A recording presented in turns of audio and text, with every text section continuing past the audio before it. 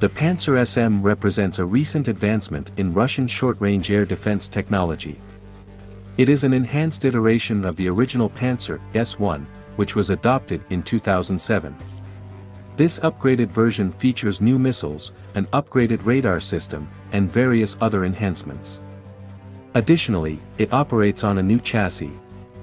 The first unit of the improved Pantsir SM was constructed in 2017, and its public debut took place in 2019. The Pantsir SM is built upon a specialized wheeled chassis known as the K53958, essentially derived from the KAMAZ 6560M military truck but with an armored cabin. While this air defense system is adaptable to different chassis options, it can also be employed as a stationary module or installed on naval vessels. Primarily designed for safeguarding specific targets, the Pantsir SM is geared toward stationary applications. The system incorporates an advanced active electronically scanned array radar, greatly enhancing its detection range to 75 kilometers. This represents a significant improvement compared to the original Pantsir S1's 36 kilometers range. The new radar is also designed to resist jamming more effectively. The Pantsir SM introduces a novel missile with a maximum range of 40 km and an altitude reach of 15 km. This is double the range and altitude capability of the Pantsir S1's 57 x 10 to the power of 6 missile. Consequently, the Pantsir SM functions as both a short-range and medium-range air defense system.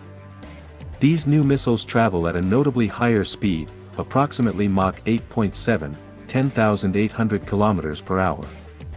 It's likely that the Pantsir SM is also compatible with the older 57 x 10 to the power of 6 missiles.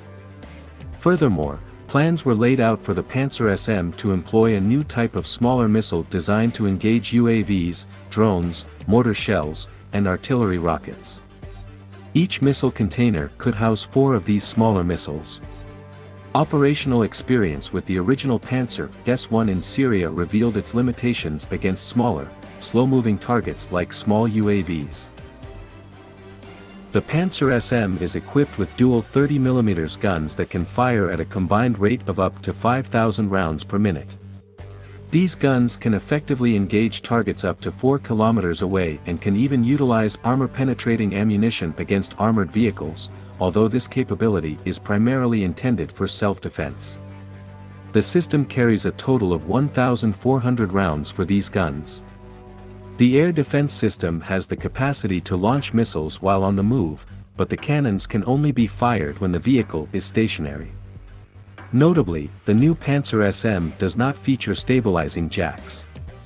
The baseline Pantsir SM configuration holds 12 missiles in sealed containers, while a variant with 24 missiles but no guns was also considered. The armored cabin of the Pantsir SM provides crew protection against small arms fire, artillery shell fragments, and blasts equivalent to 2 kilograms of TNT. Operated by a crew of three, commander, operator, and driver, the K53958 special wheeled chassis is equipped with a turbocharged diesel engine generating 600 horsepower. This engine is paired with an automatic transmission, allowing the vehicle to traverse off-road terrain. Each Pantsir SM unit is capable of independent operation, with up to 3 to 5 combat vehicles forming a battery. In this configuration, one vehicle serves as a command post, relaying target data to the others. These combat vehicles can also collaborate with an air defense command post and receive data from early warning radars.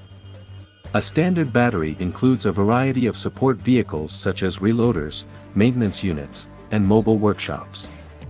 In 2022, the Russians unveiled a modified launcher vehicle model for the Pantsir SM system featuring 24 missiles.